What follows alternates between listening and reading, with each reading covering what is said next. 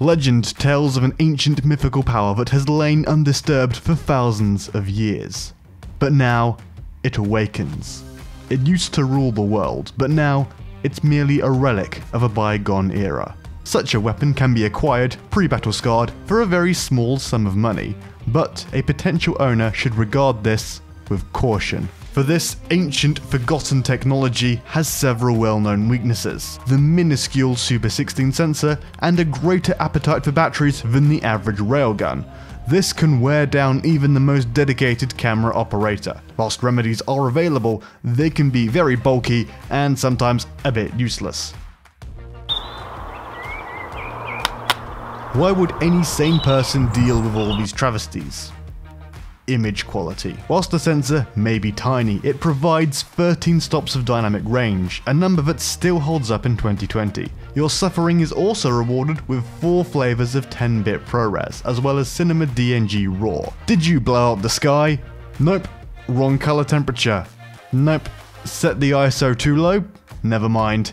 These are cinema grade video formats in a £500 camera, accessories not included. With a bit of practice, you can get some spectacular quality. The high bitrate codecs and 13 stops of dynamic range are the kind of features you'd expect to find on a proper cinema camera. But if you want the quality of a proper cinema camera, you've got to deal with the workflow too. This footage needs grading. Yes, there's the video mode, but that looks so hideous that you should never use it. Only film in log mode. With some color space transforms, you can correct the footage without too much difficulty, or you can use the color management in the raw tab. But you will find knowing your way around DaVinci Resolve is pretty much a prerequisite if you want to use this camera, especially when shooting RAW.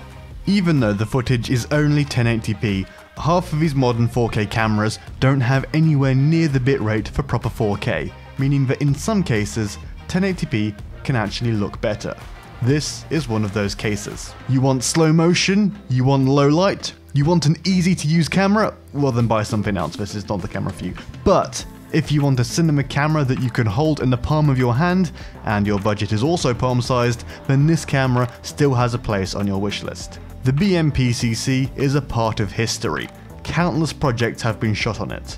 It taught me what it takes to use a RAW workflow. It taught me how much work cinema cameras can be. Its successors, the Pocket 4K and 6K, are some of the most compelling cameras available right now. The original Pocket was ahead of its time, yet it went head to head with cameras costing far more than it did, making future cinema cameras more affordable and laying the groundwork for cinematic mirrorless cameras. Despite all of this, I found it was a pain to use, so much so that my next camera, the Canon C100 Mark II, was almost the exact opposite of the Blackmagic Pocket Cinema camera. Even so, I've thought about selling this camera a few times, but yet I haven't managed to let go of it.